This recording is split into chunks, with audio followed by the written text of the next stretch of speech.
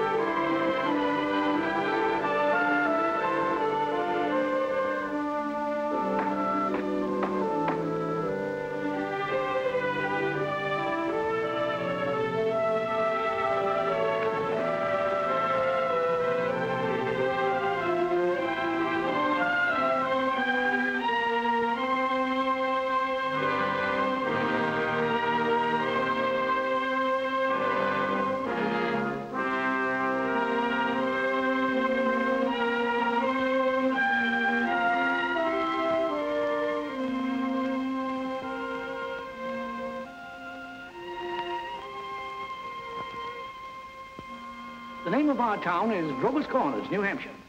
It's just across the line from Massachusetts. Latitude is 42 degrees, 40 minutes. Longitude is 70 degrees, 37 minutes. Running right through the middle of the town is Main Street. Cutting across Main Street on the left is the railroad tracks. Beyond the railroad tracks is Polish Town. You know, foreign folks who come here to work in the mills, a couple of Canuck families, and the Catholic Church. You can see the steeple of the Congregational Church. The Presbyterian is just across the street. The Methodist and the Unitarian are up a block. The Baptist Church is down in the hollow by the river. Next to the post office is the town hall. Jail's in the basement. Bryan once made a speech right from those very steps. It's a nice town, you know what I mean? Nobody very wonderful ever come out of it, so far as we know. The earliest dates on the tombstones up there in the cemetery say 1670. They're Grovers and Cartwrights and Gibbses and Herseys. Same names as you find around here now. First, we'll show you a day in our town. Not as it is today in the year 1940, but as it used to be in the year 1901. All right, operator, let's start. Yes, sir, that's the way our town looked back in the year 1901. Along Main Street, there's a row of stores with hitching posts and horse blocks in front of them. The first automobile is going to come along in about five years. The date is June 7th, 1901. It's just before dawn. Yeah, just about. The sky is already beginning to show some streaks of light in it over there in the east, back of our mountain. The morning star gets wonderful bright the moment before it has to go. The only lights on in the town are in a cottage over in Polish Town where a mother's just giving birth to twins, and down in the depot where Shawnee Hawkins is just getting ready to flag the 545 for Boston. there she is now. Of course, naturally, out in the country all around, there have been lights on for some time, what with milking and so on. But uh, town folks sleep late. Here comes Joe Crowell delivering the morning papers. So, another day has begun. Here comes Doc Gibbs from that baby case I was telling you about. And this is Doc Gibbs' house. His neighbor is Editor Webb. There's Mrs. Gibbs coming downstairs to get breakfast. Later on, about 1910, she's going out to visit her daughter Rebecca in Canton, Ohio. Mrs. Gibbs is going to die there. Pneumonia. But she's going to be brought back here, and she's going to be buried in the cemetery right here in our town with a whole mess of Gibbses and Herseys. In our town, we like to know the facts about everybody. And there's Mrs. Webb coming downstairs to get her breakfast, too. Mrs. Webb was a Grover before she married Editor Webb. Yeah. Children, children, time to get up. George, Rebecca, Emily, time to get up. Wally, seven o'clock.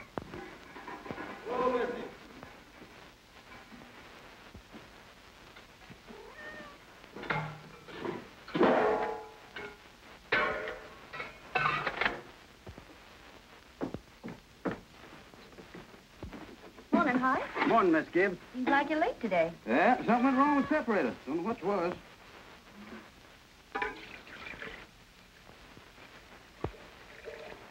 Baby. Thanks, Hi.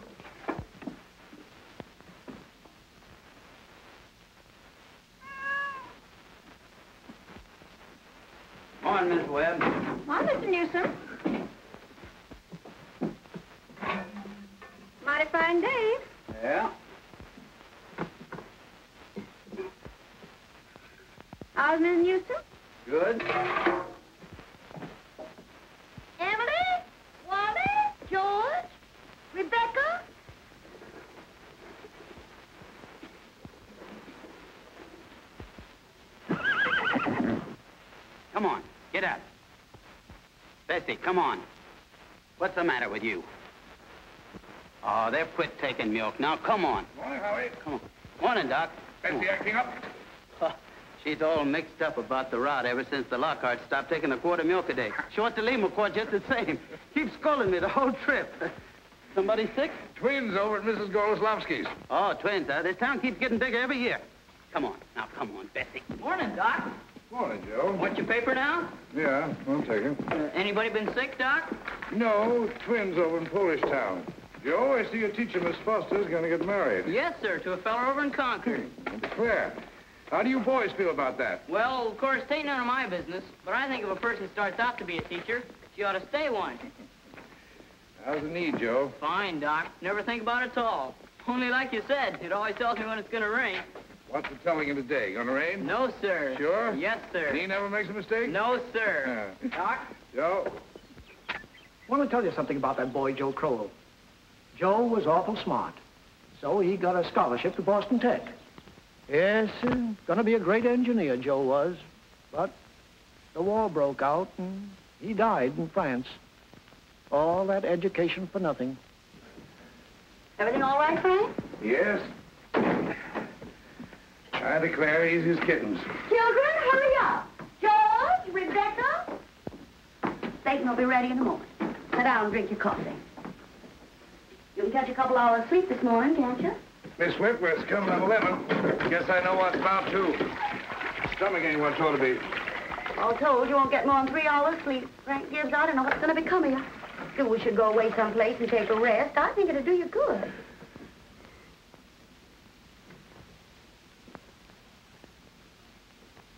Children, hurry now. Emily, Wally. I declare you have to speak to George. Seems like something's come over him lately. He's no help to me at all. Can't even get him to cut me some wood. Is he sassy to you? Hmm. Just whine. All he thinks about is that old baseball. Hmm. George, Rebecca, you'll be late for school. George! George, look sharp. Yes, Pa? Don't you hear your mother calling you? Guess I'll go upstairs and catch 40 winks. Ma! Ma, what dress shall I wear? I washed and ironed the blue gingham for you, special. Oh, my, I hate that dress. Oh, hush up with you. Every day I go to school dressed like a sick turkey. Why, Rebecca, you always look very nice. Ma, George is throwing soap at me. I'll come up and slap the both of you. That's what I'll do. Hurry up, children. After 7 o'clock. I don't want to call you again.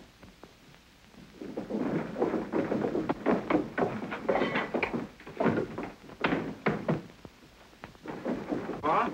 On, children. Children, I won't have it. Breakfast just as good as any other meal, and I won't have you gobbling like wolves. It'll stunt your growth, that's a fact. Wally, put your book away. Oh, Ma, by 10 o'clock I gotta know all about Canada. You know the rules well as I do. No books at table. As for me, I'd rather have my children healthy than bright. Well, I'm both, Mama. You know I am. I'm the brightest girl in school for my age. I have a wonderful memory. Eat your breakfast. Well, I'll speak to your father about it when he's rested. Seems to me like 25 cents a week's enough for a boy your age. I declare, I don't know how you spend it all.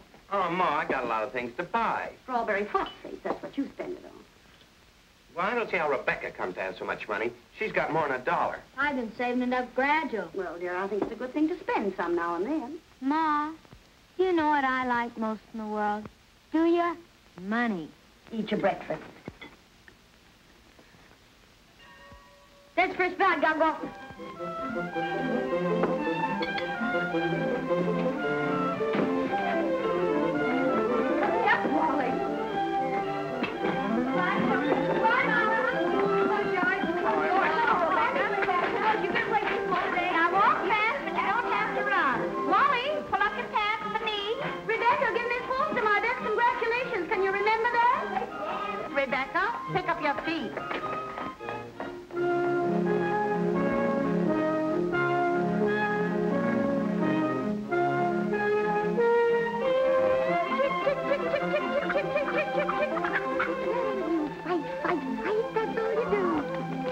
where did you come from? You don't belong to me. What you so scared of? Nobody's gonna hurt you. Morning, Julia.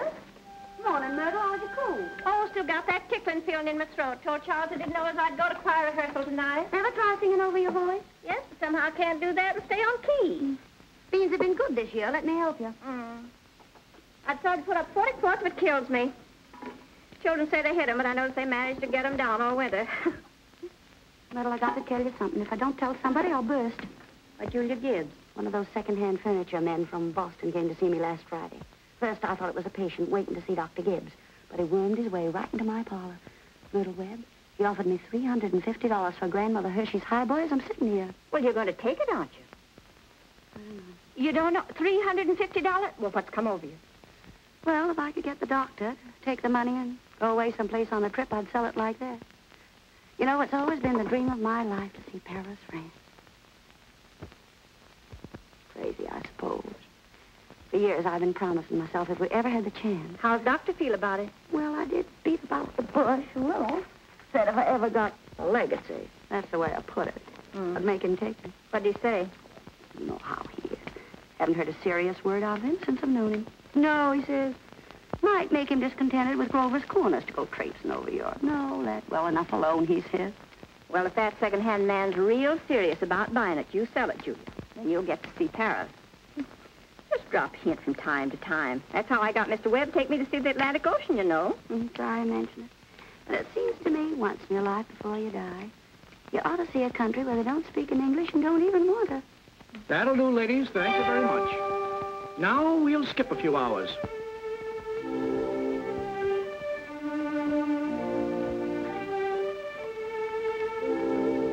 Now, before we get on, I think we ought to have a little more information about the town.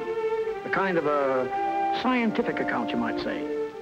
So I've invited Professor Willard of our state university to come here and kind of sketch in a few details of our past history.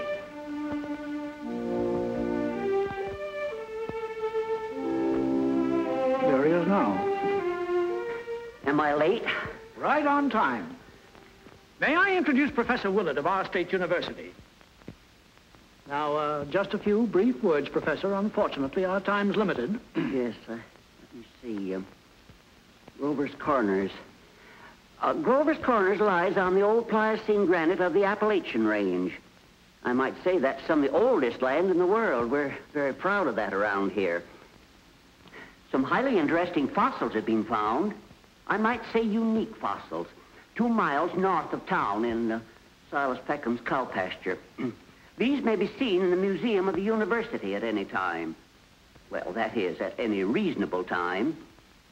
Uh, shall I tell them about the meteorological conditions, the mean precipitation, etc.? I'm afraid we won't have time for that, Professor. We might have a few words about the history of man here, though. Oh, anthropological data. Yes. Let's see. Um, early Amerindian stock, Cotahatchee tribes. No evidences before the 10th century of this era. Now entirely disappeared. Possible traces in three families. Migration in the early 17th century of English brachiocephalic blue-eyed stock and uh, Since then, some Slav and Mediterranean. And the, uh, the population, Professor? Uh, within the town limits, 2,640. The po... Oh, is that so? In that case, the population at the moment is 2,642. The postal districts bring in 507 more, making a total of 3,149. Mortality, birth rates, constant. Uh, by McPherson's gauge, 6.032. Thank you very much, Professor. I'm sure we're all very much obliged to you. Not at all, sir, not at Just what we all. Good day. And now the social and political report. Oh, Editor Webb? Mr. Webb? Charlie Webb's the father of Wally and Emily. Emily's the smart girl with a good memory. You know, you saw her at breakfast. All right, Editor Webb, it's your turn now. Well, I don't have to tell you that we run here by a board of selectmen. All males vote at the age of 21.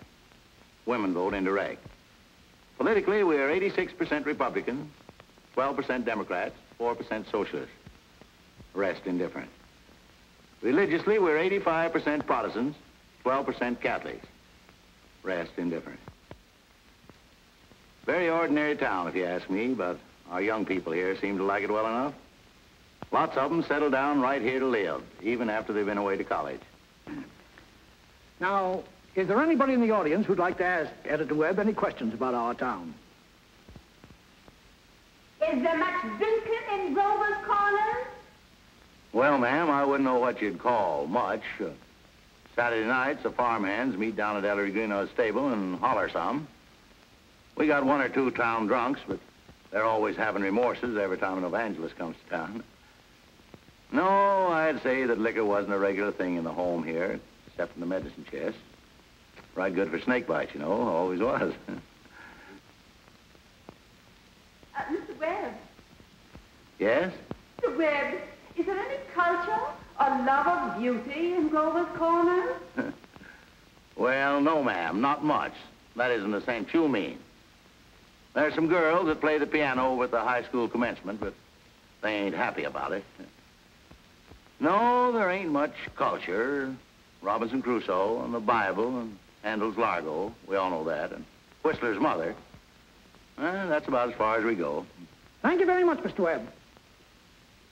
Is there no one in town aware? No, I'm sorry, but we haven't time for any more questions. We must be getting on with the picture. It's getting on in the afternoon. All 2,642 have had their dinners. All the dishes have been washed. There's an early afternoon calm about the town. Charlie Webb's going home to mow his lawn. One man in ten thinks it's a privilege to push his own lawnmower. The afternoon session of school is over. Doc Gibbs is in his office tapping people and making them say, ah, ah.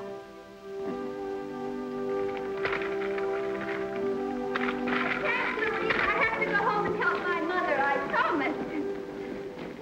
Emily, walk simply. Who do you think you are today? Papa, you're terrible. One minute you tell me to stand up straight, and the next minute you call me names. I just don't listen to you. Golly, never got a kiss from such a great lady before. Hello, Emily. Oh, hello. You made a fine speech in class today. Well, I, I was really ready to make a speech on the Monroe Doctrine, but the last minute Miss Foster made me talk about the Louisiana Purchase instead. I worked an awful long time on both of them. Gee, it's funny, Emily. From my window up there, I can see your head nights when you're doing your homework over in your room. Why, can you? You certainly do stick to it, Emily. I don't see how you can sit still that long. I guess you must like school. Well, I feel it's just something you have to go through. What do you think, Emily? We might work out a kind of telegraph from your window to mine, and you could give me a hit every once in a while on one of those algebra problems. Well, Oh, I don't mean the answers, Emily. Of course not. I mean, just some little hint. oh, I think hints are allowed, so, uh, If you get stuck, George, just whistle to me and I'll give you some hints. Gosh. You're just naturally bright, I guess. Well, I figure it's just the way a person's born. Yeah. But you see, well, I want to be a farmer, and my Uncle Luke says is whenever I'm ready, I can come over and work on his farm, and if I'm any good at all, why, I can just gradually have it. You mean the house and everything? Oh, yeah.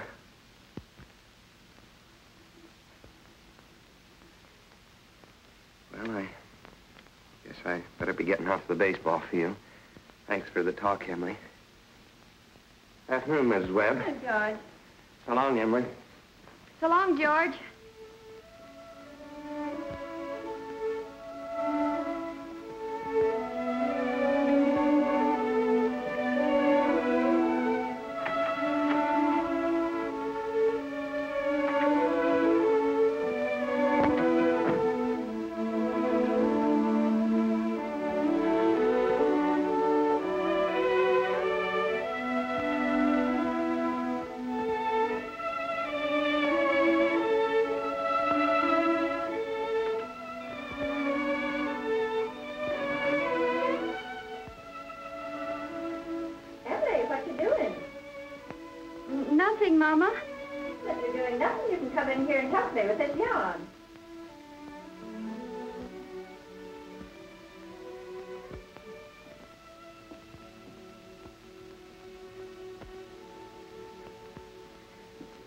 Well, George Gibbs let himself have a real conversation, didn't he?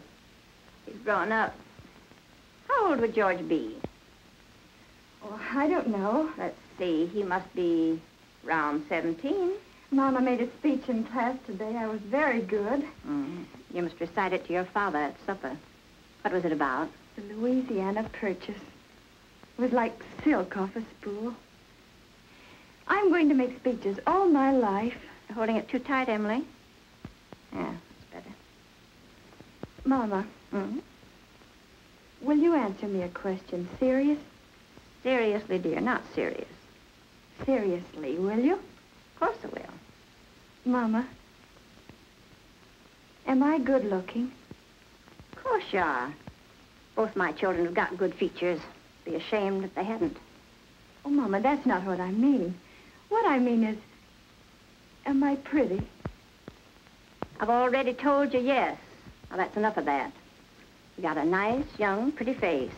Never heard such foolishness. Oh, Mama, you never tell us the truth about anything. I am telling you the truth. Mama, were you pretty? Yes, I was, if I do say it. I was the prettiest girl in town next to Mamie Cartwright. Oh, but Mama, you've got to say something about me. Am I pretty enough to get anybody? Well, to get people interested in me. Emily, you make me tired. Now stop it. You're pretty enough for all normal purposes.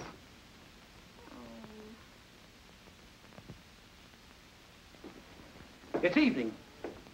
You can hear the choir practicing in the congregational church. The children are all home doing their schoolwork. The day is running down like a tired clock.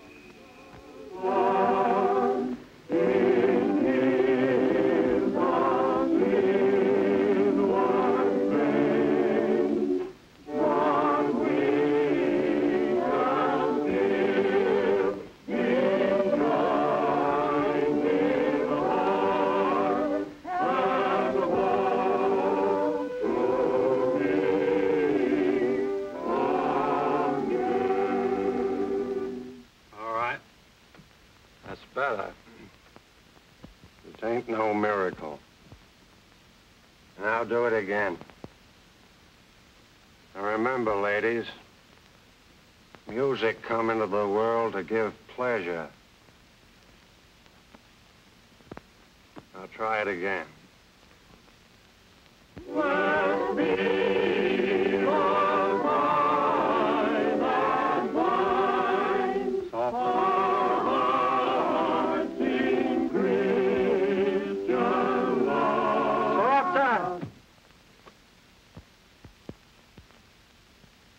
Now listen, everybody.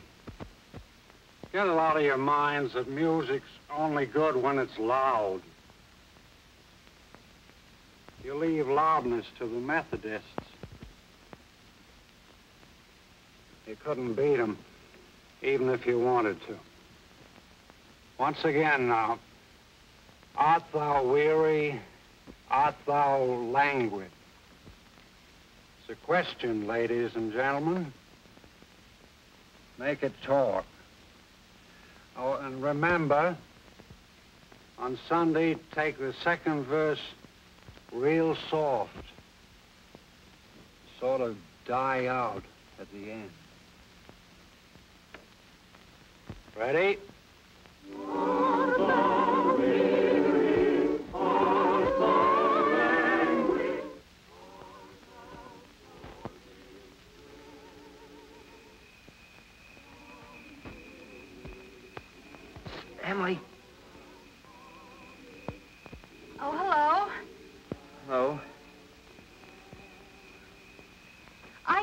Work at all.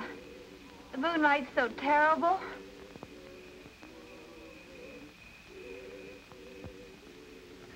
Emily, uh, did you get the third problem? Which? The third. Oh, yes, George. That's the easiest of them all. I don't see it. Well, Emily, uh, could you give me a hint? Well, I'll tell you one thing.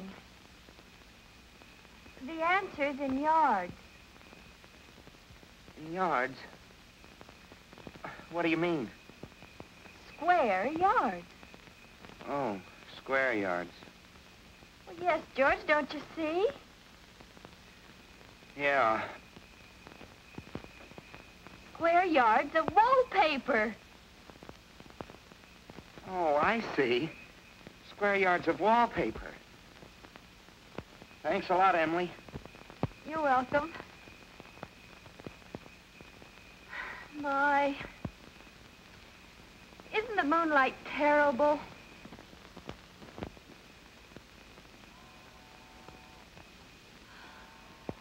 I think if you hold your breath, you can hear the train all the way to Kentucky.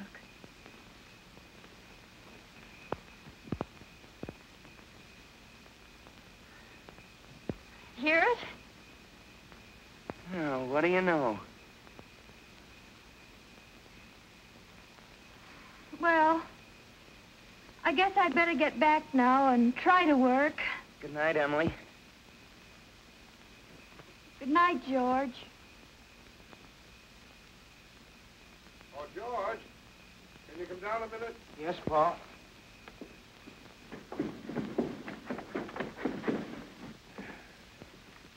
Make yourself comfortable, George. I'll only keep you a minute. George, how old are you? Me? Oh, I'm past 17. What do you want to do after school's over? You know, Paul, I, I want to be a farmer on Uncle Luke's farm. And you'll be willing, will you, to get up early and milk and feed the stock? And you'll be able to hoe and hay all day? Mm, Sure I will. What do you mean, Paul? Well, George, when I was here in the office today, I heard a funny sound. What do you think it was? It was your mother chopping wood. Now, there you see your mother. Getting up early, cooking meals all day, washing and ironing. And yet she has to go out in the backyard and chop wood. I suppose she got tired asking you. I suppose she just gave up and decided it was easier to do it herself. Yet, you eat her meals. You put on the clothes she keeps nice for you. Then you run out and play baseball. Like she was a hired girl we kept around the house but didn't like very much. I knew all I had to do was call it to your attention. A handkerchief, son.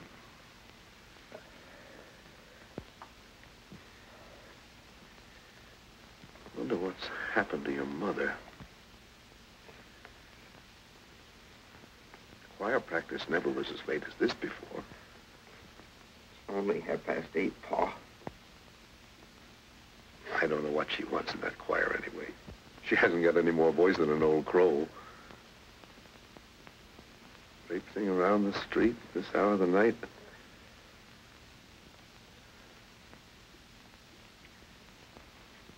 Just about time you retired, don't you think, George?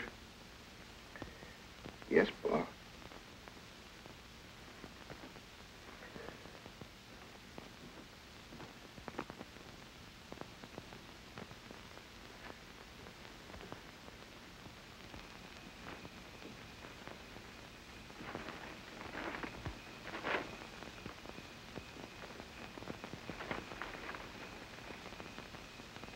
Nice late. Real nice choir practice, wasn't it? Myrtle Webb, look at that moon. Potato weather, sure. Well, uh, naturally, I didn't want to say a word about it in front of those others. But now we're alone. Really, it's the worst scandal that ever was in this town. What? Why, Simon Stimson. No, Luella. But, Julia, to have the organist of a church drink, and drunk year after year. Luella. Julia, you know he was drunk tonight. Now, Luella, we all know about Mr. Stimson, and we all know about the trouble he's been through. And Dr. Ferguson knows, too. And if Dr. Ferguson is willing to keep him on in his job there, the only thing the rest of us can do is just not to notice it. Not to notice it? But it's getting worse. No, it ain't, Luella. It's getting better. I've been in that choir twice as long as you have, and it doesn't happen anywhere near so often. Oh, my. I hate to go to bed on a night like this. Well, good night, Luella. Good night. Good night, Julia. Night, Myrtle. You can get home all right, Luella? Oh, it's bright as day. I can see Mr. Soames scowling at the window now. you think we've been to a dance the way the men folk carry on. Good night, Julia. Good night, Luella. See you on Sunday. See you then.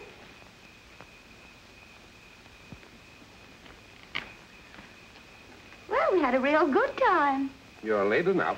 Frank ain't any later than usual. You stopping to gossip with a lot of hens. Now, don't be grouchy. Smell my heliotrope. Hmm. What'd you do all the time I was away? Oh, I read as usual. Well, what did the girls gossip about tonight? Believe me, Frank, there's something to gossip about. Simon Stimson? Far gone, was he? Oh, worst I've ever seen. Frank, how's all that gonna end? Dr. Ferguson can't forgive him forever.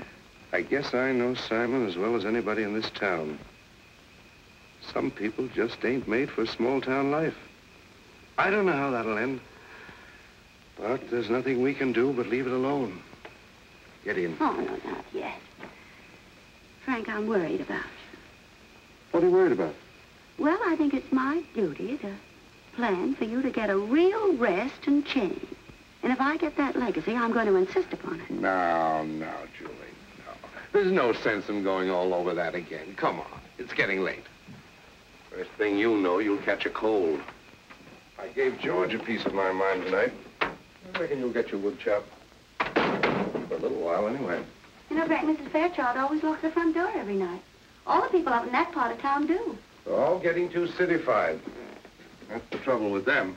They haven't got a thing fit to burgle, and everybody knows it. Good evening, Constable. Evening, Mr. Webb. Quite a moon. Yeah. All quiet tonight? Simon Stimson is rolling around a little. I just saw his wife moving out to hunt for him. So I looked the other way. There he is now.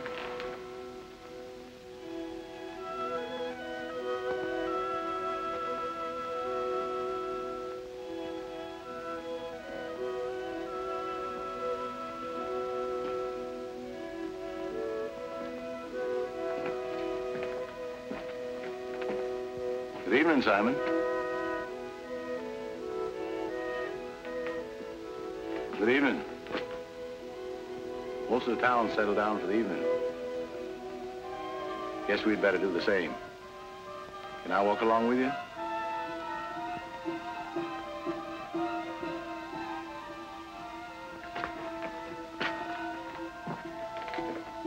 Good night.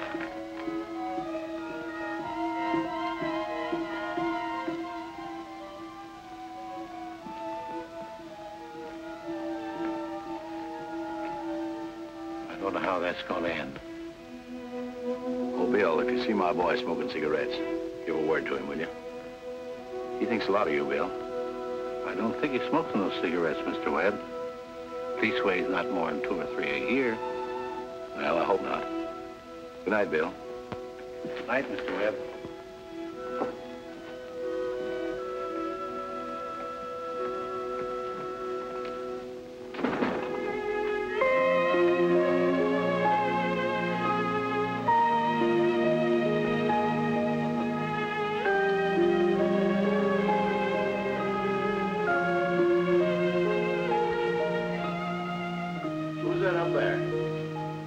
That you, Myrtle? Oh, no, it's me, Papa. Why aren't you in bed? I don't know. I, I just can't sleep yet, Papa. The moonlight's so wonderful, and the smell of Mrs. Gibbs' heliotrope.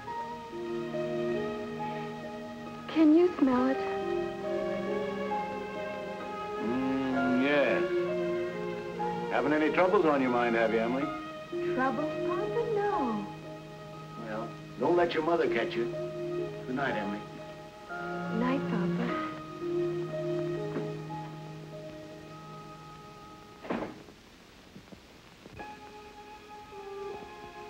I never told you about that letter Jane Crofut got from her minister when she was sick. He wrote Jane a letter, and on the envelope, the address was like this. It said, Jane Crofut, the Crofut Farm, Grover's Corners, Sutton County, New Hampshire, the United States of America. What's funny about that? But listen, it's not finished. The United States of America, continent of North America, Western Hemisphere, the Earth, the solar system, the universe, the mind of God. That's what it said on the envelope. Hmm. What do you know? Yep, and the postman brought it just the same. What do you know?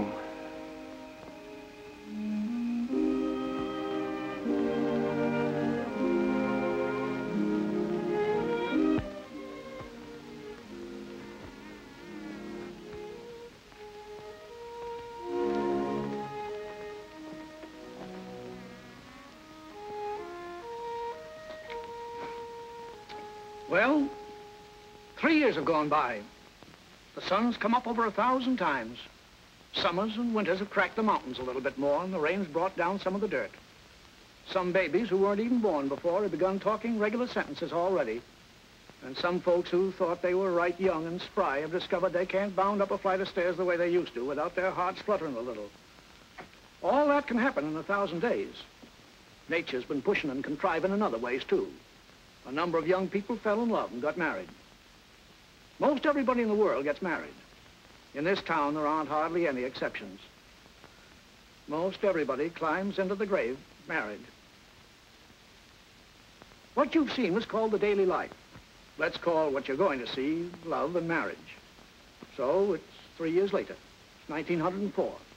It's July 7th, just after the high school commencement. That's the time most young people jump up and get married. Soon as they've passed their final examinations in solid geometry and Cicero's orations, that's the time most young people think themselves fitted to get married. It's early morning again. Only this time it's been raining. It's been thundering and pouring. I don't know.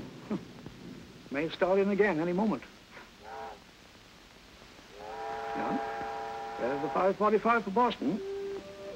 And there's Si Crowell delivering the papers like his brother before him. And there's Mrs. Gibbs and Mrs. Webb coming downstairs to get breakfast just as though this were an ordinary day. I don't have to point out to the women in the audience that both these ladies they see before them, both these ladies have been cooking three meals a day, one of them for 21 years and the other for 25, and never took a summer vacation. Raised two children apiece, washed, cleaned the house, and never had a nervous breakdown. And here comes Howie Newsome and Bessie delivering the milk.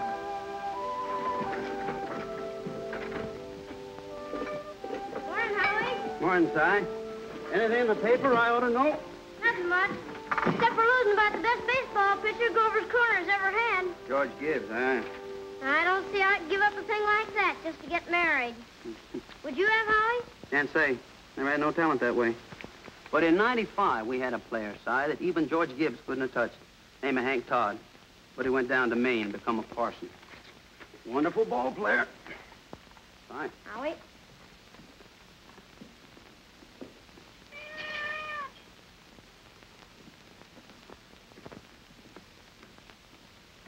Morning, Miss Gibbs. Morning, Howie. Ah, it's too bad it's so wet, but I guess it's cleared up for good. Certainly hope it has. Going to have a house full of relations today, Howie. Looks like I'll need three of milk and two of cream. Three of milk and two of cream. My wife says to tell you we hope they'll be happy. No, they will. Thanks a lot, Howie. Tell your wife I hope she gets the wedding. Maybe she can. She'll get there if she can. Morning, Miss Webb. Why, Mr. Newsome, told you four quarts, but I hope you can spare me another. Yes, ma'am. I brought you a pint of cream, too.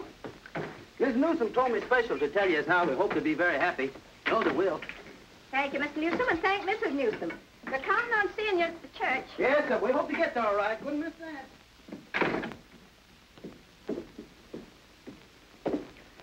Well, Ma, day's come. We're losing one of your chicks. Frank Gibbs, don't you say another word. I feel like crying any minute. Sit down, drink your coffee. Bloom's upstairs shaving himself, only there ain't very much to shave. He's whistling and singing like he was glad to leave us. Every now and then saying, I do, to the mirror. But it don't sound convincing to me. I declare, Frank, I don't know how he's going to get along. I've always arranged his clothes for him, seen to it that his feet were dry and he had warm things on. They're too young for him. Emily'll never think of those things. You'll catch his death of cold within a week. I remember my wedding morning, Julie. Don't stop that, Frankie. I was the scaredest young fellow in the state of New Hampshire. Thought I'd made a mistake for sure. And when I saw you coming down the aisle, I thought you were the prettiest girl I'd ever seen. The whole trouble was I'd never seen you before. There I was, right in the Congregational Church, being married to a total stranger. Well, how do you think I felt? I tell you, Frank, weddings are perfectly horrible things. Farces, that's what they are. Made something for you. Why, Julie Hersey. French toast. Ain't hard to make. Besides, I had to do something. How'd you sleep last night, Julie? Heard a lot of hours struck off. Uh, I get a shock every time I think of George setting out as a family man. That great, gangling thing. I tell you, Julie, there's nothing in the world so terrifying as a son. The relation between a father and a son is the dangest, awkwardest... Well, mother and daughter's no picnic, I can tell you. I do. I do. I do. I do. You'll have a lot of trouble, I suppose, but that's none of our business. Everybody's got a right to their own trouble. You know one thing that scared me when I married you? Go along with you. I was afraid we didn't have material for conversation more than it'd last a few weeks.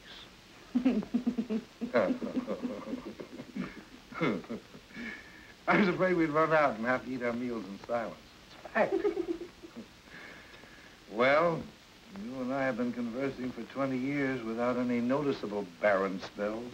Good weather, bad weather, tain't very choice, but I always find something to say. Did you hear Rebecca stirring around up there? No. This is the only day in the year when she isn't managing everyone's affairs up there. She's hiding in her room, and I have an idea she's crying. Land please, this has got to stop. Rebecca? Rebecca, come and eat your breakfast.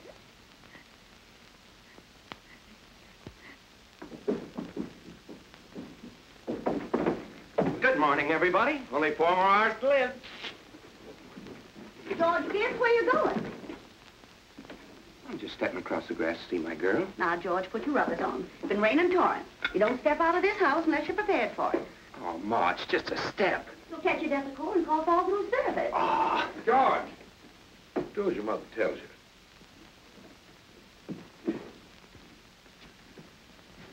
From tomorrow on, you can kill yourself in all weathers, but when you're in my house, you'll live wisely, thank you. Maybe Mrs. Webb ain't used to call us at 7 o'clock in the morning. Here, have a cup of coffee first. Be back in a minute. Oh, good, Good morning, Mother George. Webb. Goodness, you frighten me. George, I hate to say it, but you understand I can't ask you in. Why not? You know as well as I do a groom can't see his bride on his wedding day. Not till he sees her in church first. Oh, that's just a superstition. Good morning, Mr. Webb. Morning, George. You don't believe in that superstition, do you? There's a lot of common sense in superstitions, George. Millions have followed it, and don't you be the first to fly in the face of custom. How's Emily? She hasn't waked up yet. Haven't heard a sound out of her. Emily's asleep. Well, no wonder we were up till all hours, sewing and packing. Tell you what I'll do, George. You sit down here with Mr. Webb for a minute, drink that cup of coffee. And I'll run up and see that she doesn't come down and surprise you. There's some bacon there. I don't be too long about it.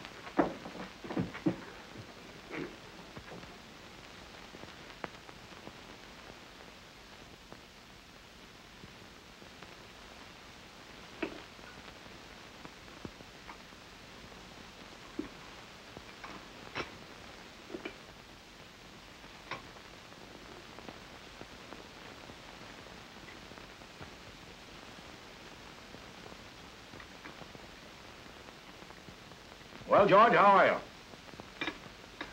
Oh, I'm fine. Uh, Mr. Webb, uh, what common sense could there be in a superstition like that? Well, George, on the wedding morning, a girl's head is full of, uh, oh, you know, clothes and one thing and another. Don't you think that's probably it? Well, I, uh... Yes. Guess I never thought of that before. The girl's apt to be uh, mite nervous on her wedding day. Gee, I wish a person could get married without all that marching up and down. Every man that's ever lived has felt that way, George. It hasn't been any use. It's the women folks who've built up weddings, my boy. Man looks mighty small at a wedding, George. All those good women standing shoulder to shoulder, making sure that the knot's tied in a mighty public way. You believe in it, don't you, Mr. Webb? Oh, yes. Oh, yes. Now, don't misunderstand me, George. Marriage is a wonderful thing. A wonderful thing. Don't you forget that, George. No, sir.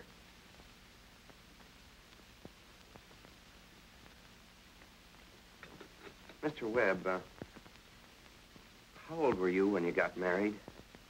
Well, you see, I had been to college, and I'd taken a little time to get settled. But Mrs. Webb wasn't much older than what Emily is. Oh, age hasn't much to do with it, my boy. That is, compared with uh, other things. What were you going to say, Mr. Webb? Hmm? Well, I don't know. Was, was I going to say something? George? I was remembering the other night the advice my father gave to me when I got married. Yes, he said, Charles, he said, start right off by showing her who's boss. Best thing to do is to give an order about something, even if it don't make sense. Just so she'll learn to obey, he said. Then he said, if anything about her irritates you, conversation or anything, get right up and leave the house. That'll make it fair to her. And oh, yes, he said, never tell your wife how much money you have. Never. So let that be a lesson to you, my boy. Never ask advice of anybody on personal matters. George, Emily's got to come down and eat her breakfast. She sends you love, but she don't want to lay eyes on you. Goodbye. Goodbye.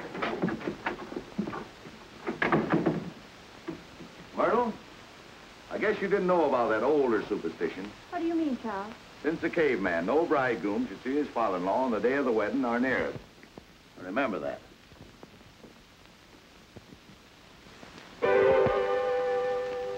Now, before we get on with the wedding, I think we should see how it all began.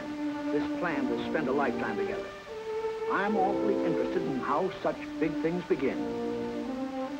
You know, you're 21 or 22, and then you're 70. You've been a lawyer for 50 years, and the white-haired lady beside you has eaten 50,000 meals with you. How do such things begin? Now, George and Emily are going to show you the conversation they had when they first knew, as the saying goes, they were meant for one another.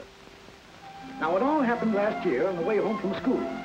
George had just been elected president of the senior class, and Emily had just been elected secretary and treasurer. Now, you all know how important that is. Emily, uh, can I carry your books home for you? Well, uh, thank you. It isn't far. Bob, if I'm late, start practicing. Give Herb some long high ones. All right. Awfully glad you were elected too, Emily. Thank you. Emily, why are you mad at me? Well, I'm not mad at you.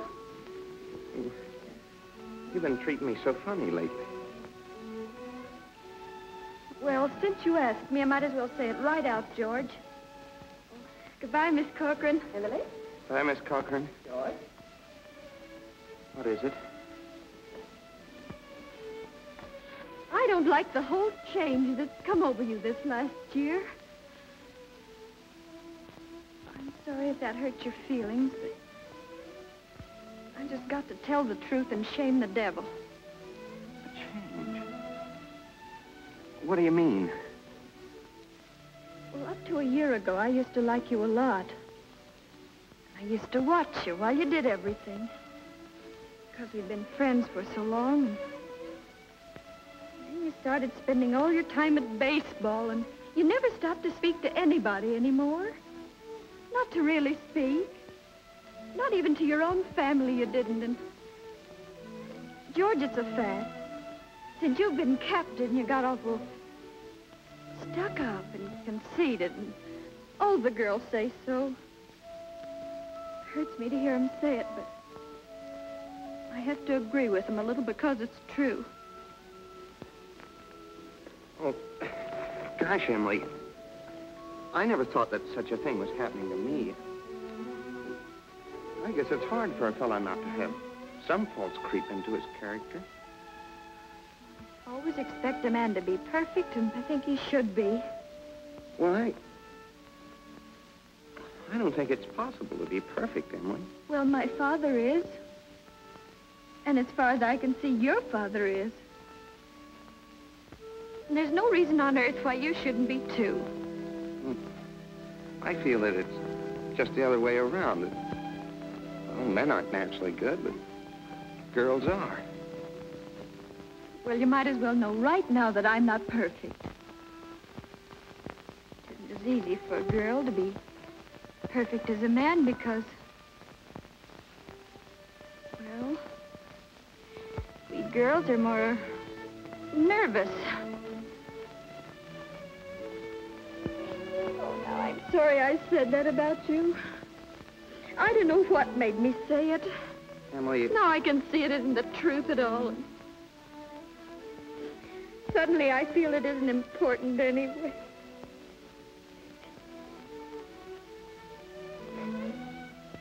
Emily, uh, would you like a ice cream soda or something before you go home?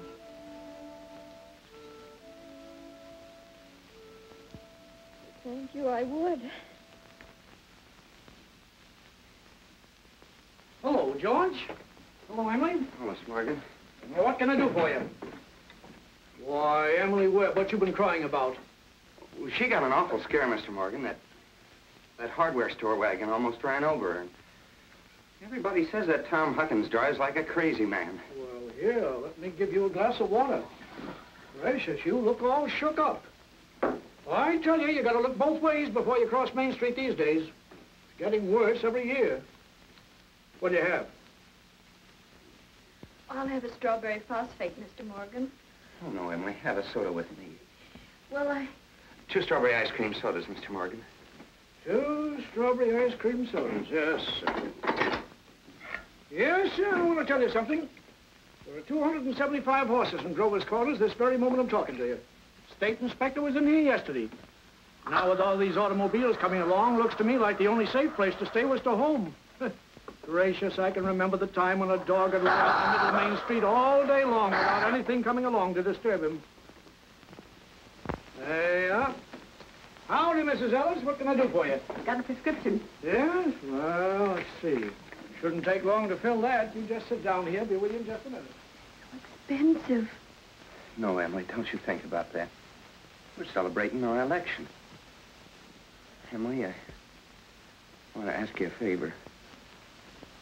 What? If I go away to State Agricultural College next year, will you write me a letter once in a while? I certainly will. I certainly will, George. It certainly seems like being away three years, you'd get out of touch with things. Maybe letters from Grover's Corners won't seem so interesting after a while. Grover's Corners isn't a very important place when you think of all New Hampshire, but I think it's a very nice town. Oh, well, the day wouldn't come when I wouldn't want to know everything about our town. Well, I know that's true, Emily. Well, I'll try to make my letters interesting.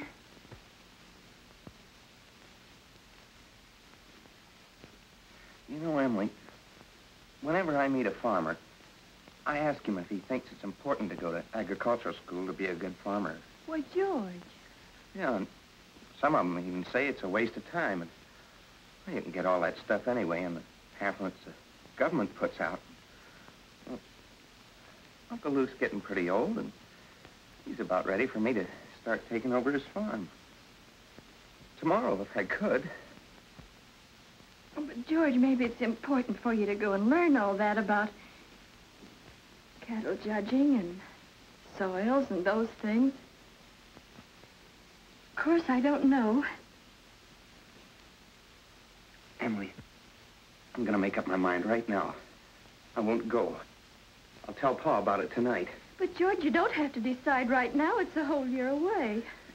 Emily, I'm glad you spoke to me about that. That fault in my character. Everything you said was right, but there was one thing wrong with it. That's when you said I wasn't noticing people. You, for instance. You say you were watching me when I did everything. I was doing the same thing about you all the time. Why? Sure, I always thought about you as uh, one of the chief people I thought about. I always made sure you're sitting on the bleachers, who you were with. Well, for three days now, I've been trying to walk home with you, but something always got in the way. And yesterday, I was standing out by the wall waiting for you. And I walked home with Miss Corcoran. Oh, George. Life's awful funny. How could I have known that? I thought... I'm going to tell you why I'm not going to agricultural school. I think that once you've found a person that you're very fond of, a person who's fond of you, too, likes you well enough to be interested in your character, I think that's just as important as college is, and even more so. That's what I think. I think it's awfully important, too. Emily? Yes, George? Emily, if I do improve and make a big change, Would you be... I mean... Could you be... I am now. I always have been.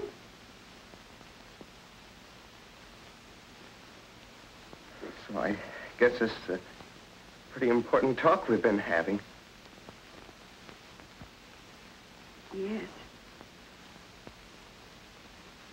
Yes.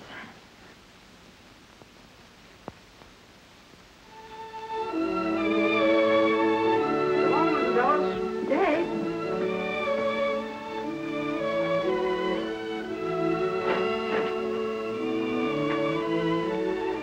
If you'll wait a minute, I'll walk you home.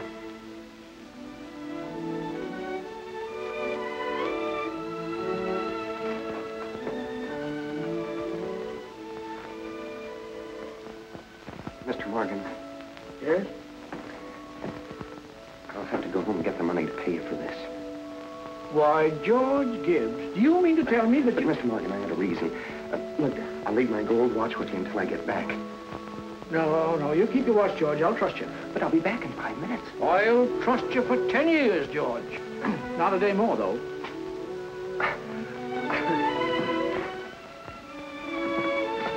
Feeling all right now, Emily? Oh, yes. Thank you, Mr. Morgan. It's nothing. I'm ready.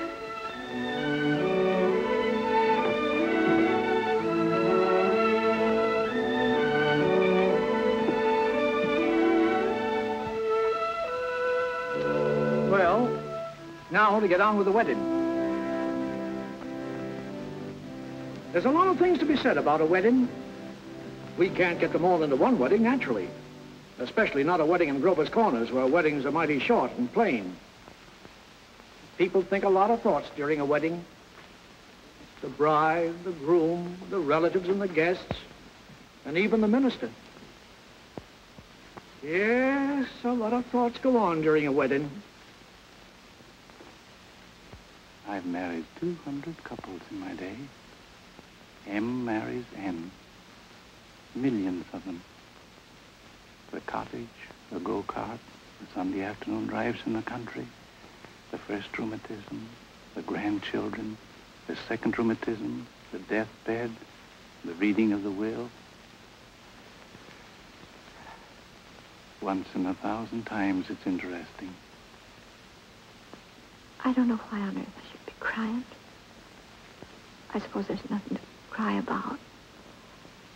This morning at breakfast just come over me. There was Emily eating her breakfast as she's done for 17 years. She's going out of my house. I suppose that's it. I never felt so alone in my whole life. I don't want to get married. Why can't I stay for a while as I am? Papa, darling, don't you remember what you used to say all the time that I was your girl? I don't want to get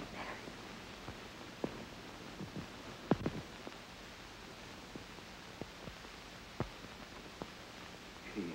I'm gonna get married. I'm grown up. I'm getting old. I don't want to get old. Taking on all these responsibilities. Why is everybody pushing me so? All I want to do is be a fella. And I'm gonna get married.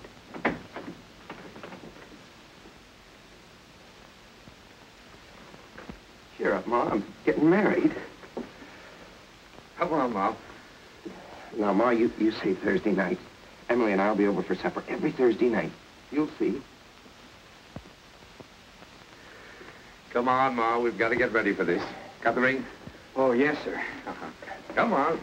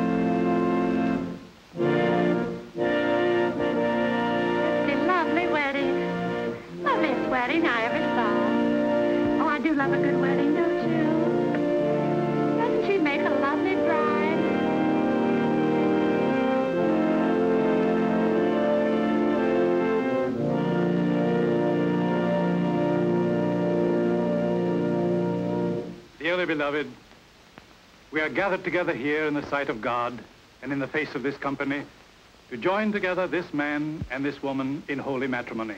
Don't know when I've seen such a lovely wedding. Into I always cry.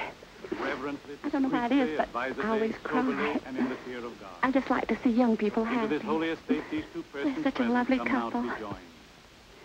I've never been to such a nice wedding. both, in sickness I'm sure- health, to love and to cherish till death you do part, according to God's holy ordinance, and thereto plight her your troth?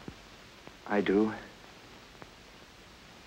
Do you, Emily, take George to your wedded husband to have and to hold from this day forward, for better, for worse, for richer, for poorer, in sickness and in health, to love and to cherish till death you do part, according to God's holy ordinance, and thereto plight him your troth? I do. What token dost thou give of thy sincerity? With this ring, With this ring, I thee wed. I thee wed. For as much as George and Emily have consented together in holy wedlock, and have witnessed the same before God and this company, and have declared the same by giving and receiving a ring, I pronounce that they are husband and wife. Amen.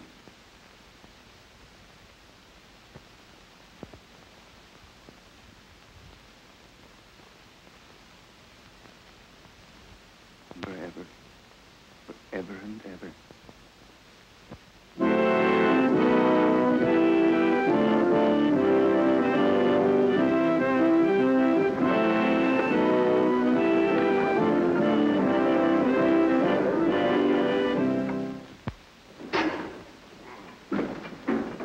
Pay you first of the month, like usual. Hey, you, Holly.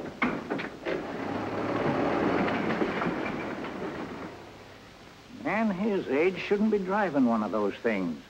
Not when he's got a lot of young fellas to do it for him. Well, Howie likes to deliver the milk himself. Says he gets the feel of the town that way.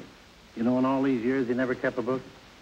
Carries all the accounts in his head. I hear he's been doing so well, he's begun locking his front door at nights. Afraid of burglars. Ain't no burglars in this town yet. No, but Howie's heard about 'em.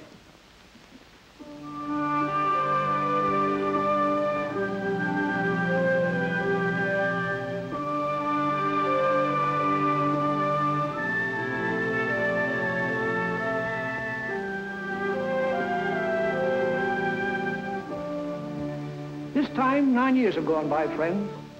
It's the summer of 1913. Gradual changes in Grover's Corners. Horses are getting rarer. Farmers are coming into town now in Fords. Still, you'd be surprised, though, on the whole. Things don't change much around here. This is an important part of Grover's Corners up here in this hilltop. Lots of sky, lots of clouds, often lots of sun and moon and stars. Certainly a beautiful spot up here. I often wonder why people want to be buried in Woodlawn or Brooklyn when they might pass the same time up here in New Hampshire. Over here are the old stones. 1660, 1670. Strong-minded people who come a long ways to be independent. Over here are some Civil War veterans. Iron flags on their graves. New Hampshire boys. They had a notion that the Union ought to be kept together, although they'd never seen more than 50 miles of it themselves. All they knew was a name, friends. The United States of America. The United States of America. And they went and died about it.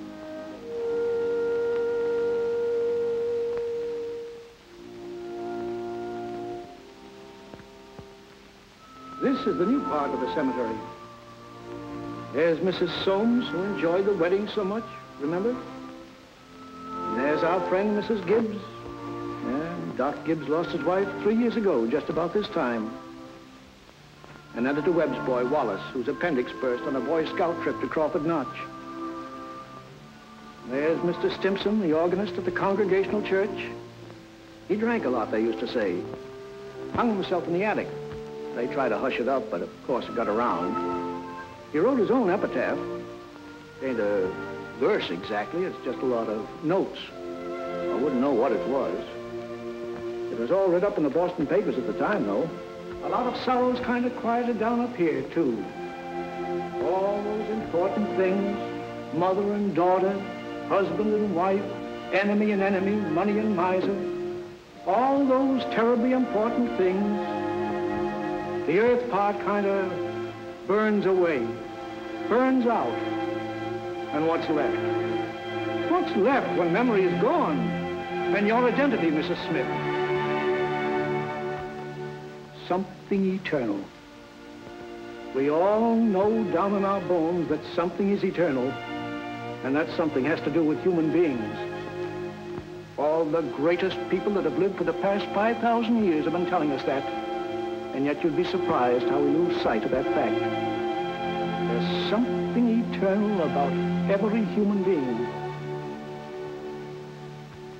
I guess I'm thinking these thoughts today on account of our friend Emily. Another baby's expected down at that happy home we saw started. It's Emily's second. There's a little boy about six years old. But this time, Emily's pretty sick. Doc Gibbs is going around these days with a mighty worried face.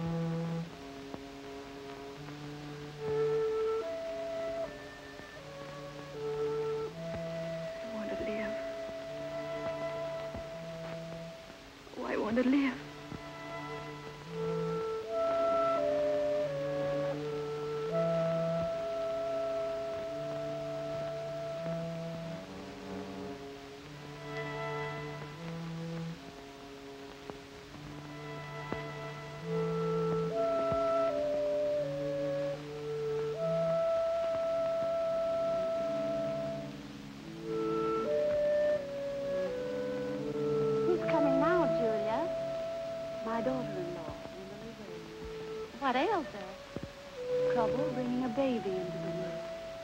Why, I remember Emily's wedding. Wasn't it a lovely wedding? I remember I called on George and Emily at their farm just before I died. Aren't they beautiful farms?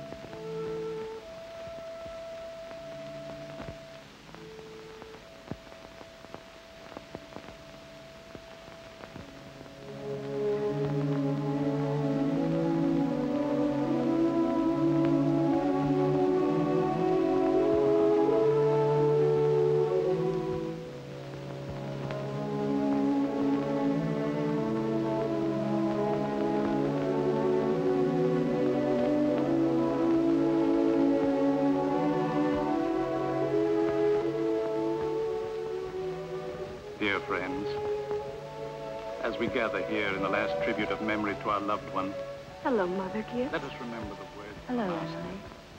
Hello, Emily. I am the resurrection and the Hello, Mrs. Soames. Hello, sis.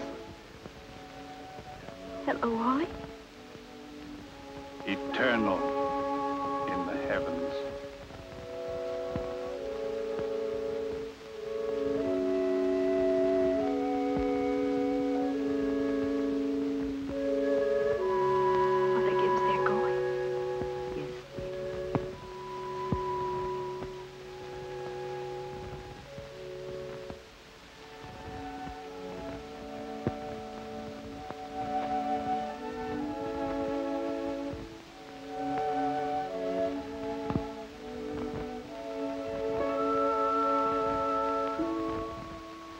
Father Gibbs is bringing some of my flowers to you, Mother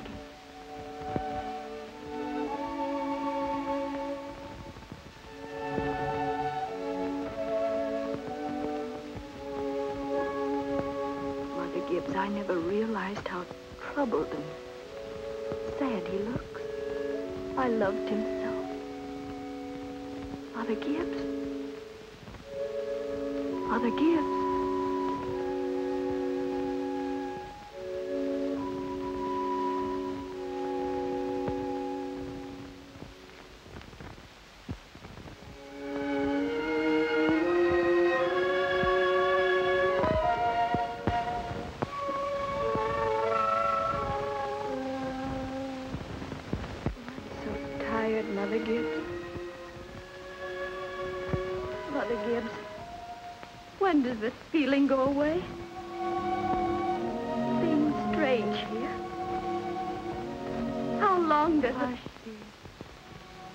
Just wait and be patient. How do you do, Mr. Stimson? How do you do, Emily? Mother Gibbs. George and I have made that farm into just the best place you ever saw. We thought of you all the time. We wanted to show you the new barn and, and a great long cement drinking fountain for the stock. We bought that out of the money you left us. I did. Don't you remember? The legacy you left us. Why, it was more than $350. Oh, yes. Yes. It won't be the same to George without me. But it's a lovely farm.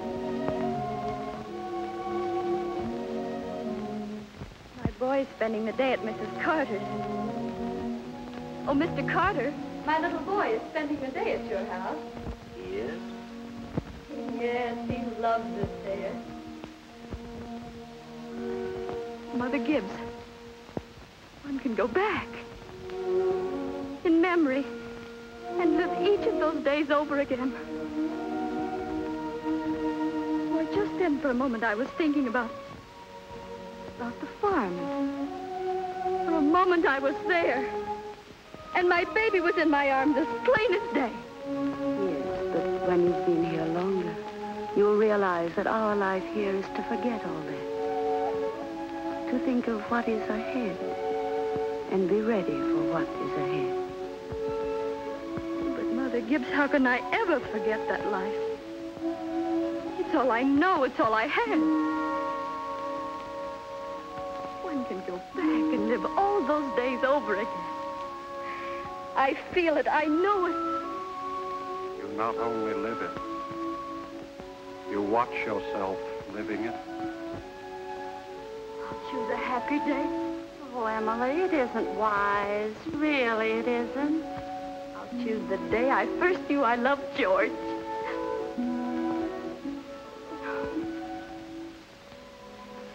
Why should that be painful? Because it's the happiest days that are the hardest to relive and to forget. I must. I must. Then choose an unimportant day. Choose the least important day in your life. It will be important enough. I'll choose. I'll choose.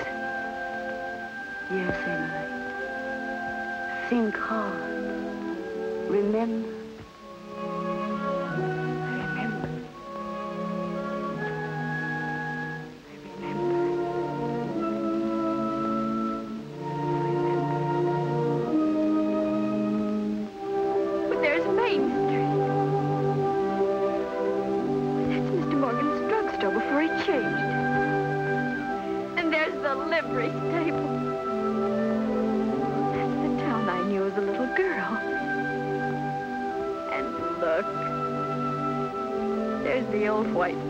Used to be around our house.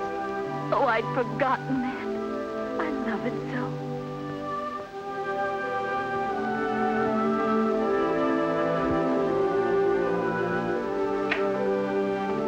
There's Mama coming downstairs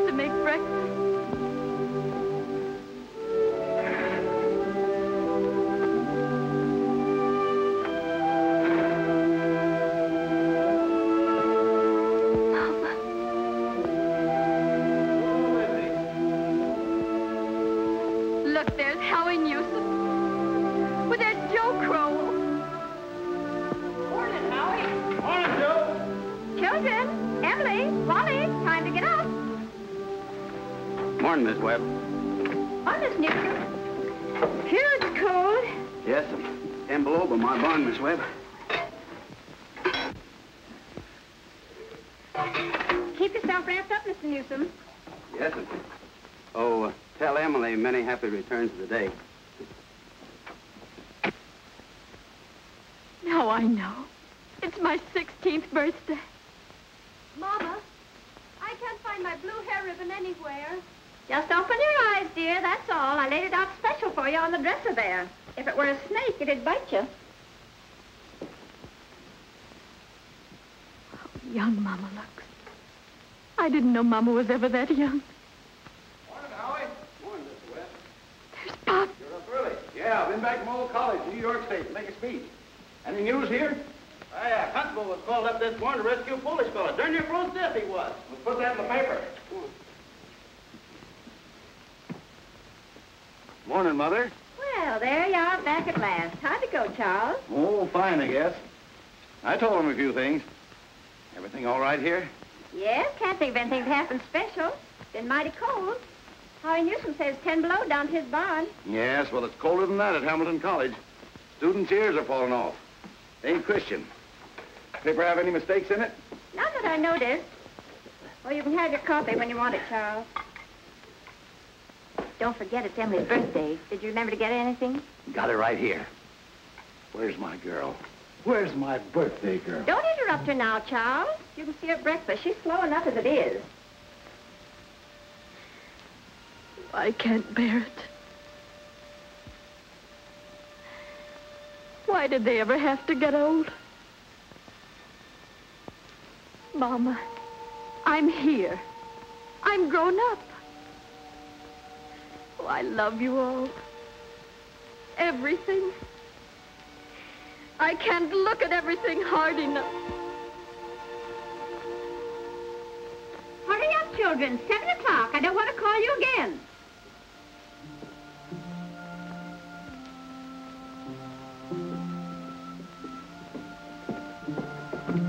Good morning, Mama. Well, now, dear. A happy birthday to my girl and many happy returns. Prize is waiting for you on the table there. Oh, Mama, you shouldn't have. Can't I? Can't. Birthday or no birthday, I want you to eat your breakfast good and slow. I want you to grow up and be a good, strong girl. That and the blue package is from your Aunt Carrie. Good morning. George. Good morning, George. Brought this over for your birthday, Emily. Many happy returns of the day. Thank you. Sold me a photograph album. Oh, George, I'd forgotten. Oh, it's beautiful. Oh, just an album. I'm going out to my Uncle Luke's farm today. Like it out there. George, we grew up and were married, don't you remember? Uncle Luke gave you the farm. Well, goodbye. Goodbye, and thanks. Chew this bacon good and slow. It'll help keep you warm on a cold day. Mama, just look at me for one minute as though you really saw me. Mama, twelve years have gone by. I'm dead. I married George Gibbs, Mama. Wally's dead, too. Mama, his appendix burst on a cabbing trip to Crawford Notch. We felt just terrible about it, don't you remember? For a moment now, we're all together. Mama, let's be happy just for a moment. Let's look at one another. That and the yellow package is something I found in the attic among your grandmother's things. You're old enough to wear it now, and I thought maybe you'd like it. Oh, and this is from you. It's lovely. It's just what I wanted. It's beautiful. I hoped you'd like it. Wally has a present for you, too. He made it his manual training class. Be sure and make a fuss over it. Your father's got a surprise for you, too. Don't know what it is myself. There he comes. Where's my girl? Where's my birthday girl? I can't, I can't, George. It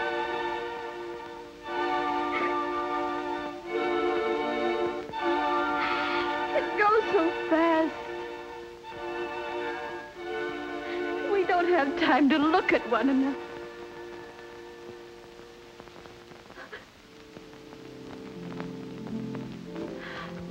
I didn't realize. So all that was going on. And we never noticed. Must I go back to my grave? Wait. One more look.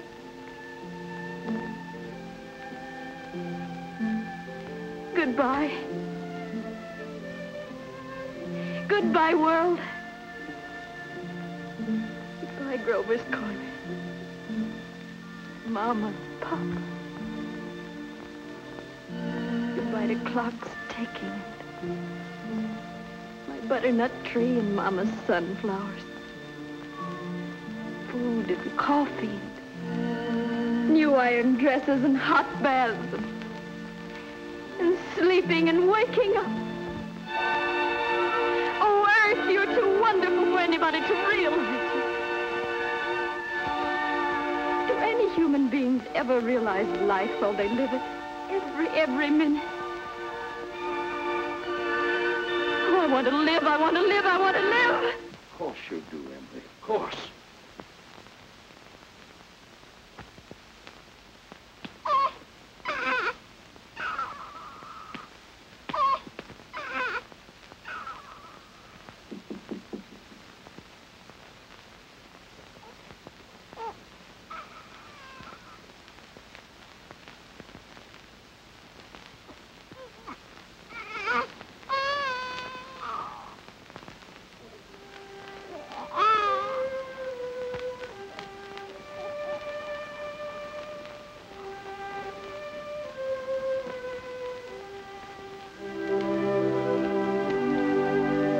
Most everybody's asleep in Grover's Corners. Oh, there are a few lights on. Down at the depot, Shorty Hawkins has just watched the Albany train go by, and of course out in George and Emily's farm. They're still up. Talking over the new baby, I suppose. It's like what one of those Midwestern poets said. You gotta love life to have life, and you gotta have life to love life.